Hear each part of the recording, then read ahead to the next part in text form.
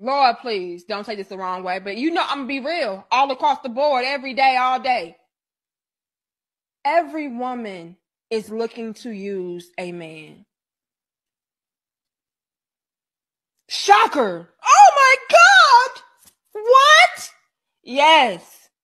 If your mama didn't tell you and your daddy didn't tell you, every woman is looking to use a man. Yep. I said it. Your little bit sis said it.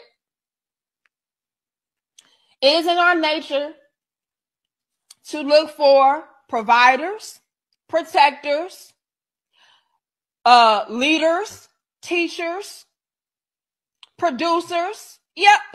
Every woman is looking to use a man. It's in our nature.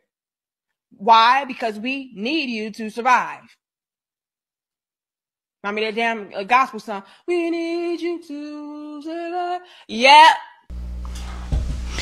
Yo, so we back in here for another edition of your mother, and I ain't even gonna lie. When I first heard her talking, she, I, I thought that it was going in the wrong direction. Yeah, they had us the first half. I'm not gonna lie. They had us. We weren't defeated, but they had us. However, as I kept listening, she made a lot of sense. And this is what I tell dudes all the time. First of all, though, no man, not too many anyways, are surprised. Like, it's called hypergamy. the only niggas that like are surprised that women want to use them are young boys between the ages of 18 and I'll say 24. After 25, you should come to reality and grips that women ain't trying to be with you just because you charismatic or you good looking. That shit only holds up for so long. After 25, I even say 30, it's a different ball game.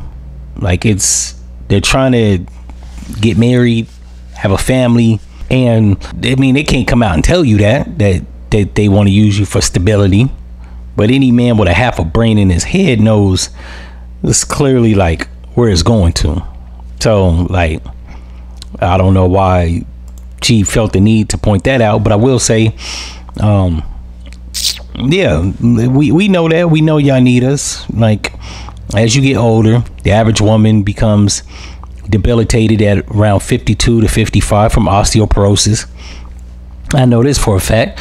My mother, cartilage between her kneecaps are rubbing bone on bone. And she's only 61. So things become increasingly difficult for the average elderly woman to do. And aside from like being taken care of, yeah, they want somebody around to do the heavy lifting. Literally, like I'm not even being hyperbolic at this point. But let them tell it they'll be in tip top shape until they 89 and that we die before them. Yeah, we do die before you. It's because most dudes that die before their wife is being utilized because they can't do the physical shit. And it ain't like you last that much more longer after we did, right? Men died around 72 to 76. Women died between 82 and 89. See the pattern? In any event, if y'all like this episode, you know what to do. And I'm out.